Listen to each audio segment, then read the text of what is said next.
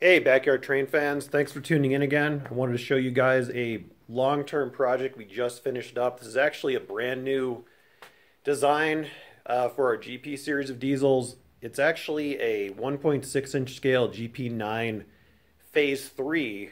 Um, if you want to get a look at these really cool 48 inch fans on top with a cast aluminum brake blister, um, I'll, I'll zoom in a little bit. Um, here's just a really cool perspective. We had this thing up on the forklift getting ready to put it on a stand and crate it up. Um, just for perspective, uh, that's a standard size spray paint can in, in the shot. Um, so this thing is just a really massive loco. And uh, like usual, it's an all steel engine. Probably weighs in at over 600 pounds.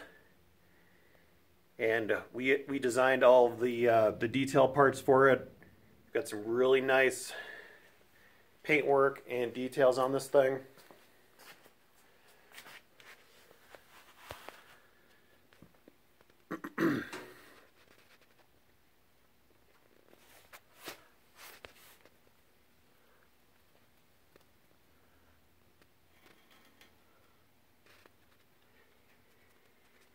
But yeah, this is the kind of work you can expect from our company. We, you know, we take pride in building these engines. We really love building them, and we put nothing but the best components in these um, really awesome pieces of equipment. This guy's actually got the uh, full sound system, really cool, detailed cab.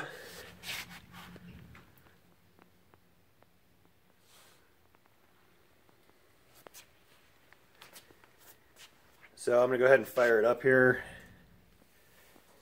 Really easy. You've just got a master, you know, battery disconnect with a few other switches in here, which I'm not really going to go into.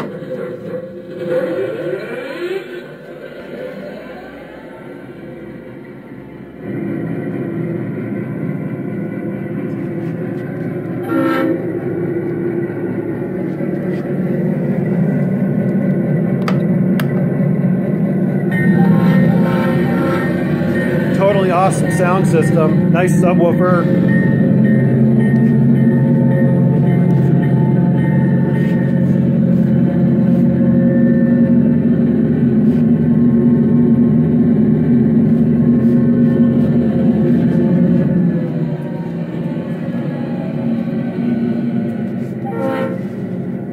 I think this is probably one of our favorite engines. The paint scheme is just so cool and the track presence of this engine is just amazing.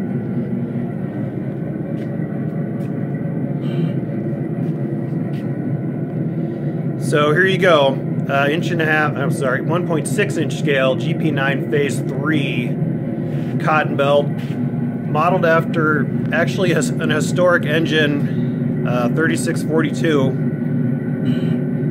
which is a really great engine. Thanks for checking it out. Bye.